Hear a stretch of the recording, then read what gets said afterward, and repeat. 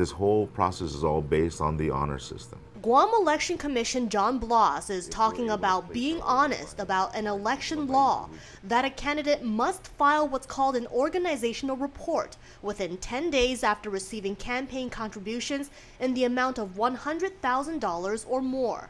The onus, the responsibility is on the candidate, him or herself, or the committee. Campaign filings show Senators Calvo and Tenorio did not do that.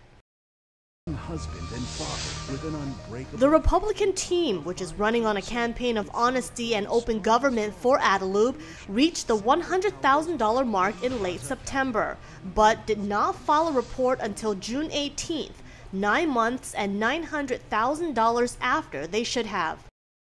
The filing also shows the team has contributions totaling more than a million dollars, about half of that coming from Senator Calvo himself.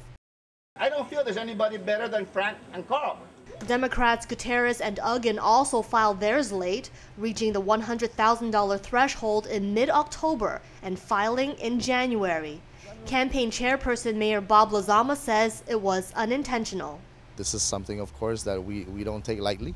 Uh, we want to be able to be uh, uh, open to the people of Guam and letting them know and assuring them, ensuring them that we are, you know, uh, making sure that our books are are kept in order.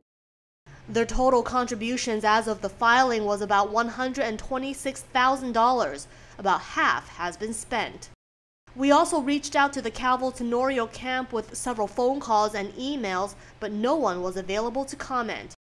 As far as what happens when one violates that law, Blas says the Election Commission's Board of Directors will have to decide. And in most cases, they would refer the matter to the Attorney General's office and, and for them to determine uh, whether or not they need to move forward with prosecution.